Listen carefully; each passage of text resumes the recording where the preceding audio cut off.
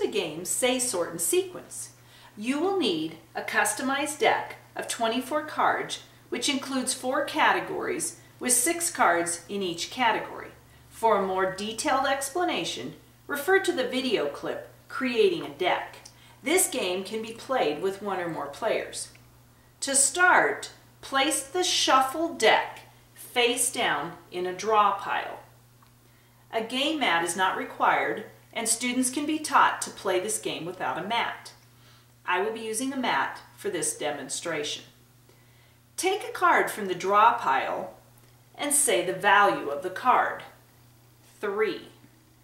The card is placed face up in a pile.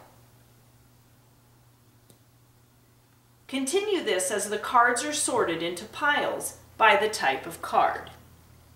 1. 6. The reason I place 6 at the top is I want the kids to always put the numerals at the top. They're taught that. 6. Each one of these is a different category. 6 is a dice pattern, so I'm going to put it there. 2 goes with the frog patterns. 3 2.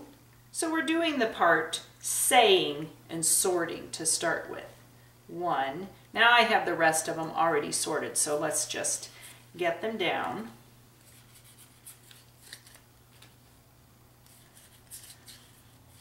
So now the cards, we've said them and we've sorted them.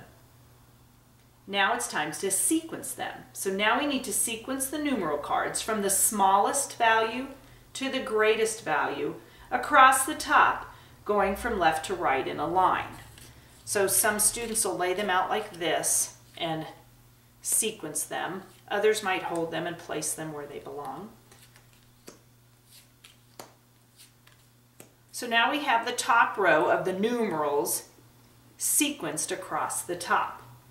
Another student can take the next category say it, and place it where it belongs. Six, five, four, one, two, three, and then the next student can do the next one, and then the next one. So they're going to continue on until all the cards are placed. When all the cards are placed, each student can read a row to make sure it's correct. One, two, three, four, five, six. That's how you play Say, Sort, and Sequence.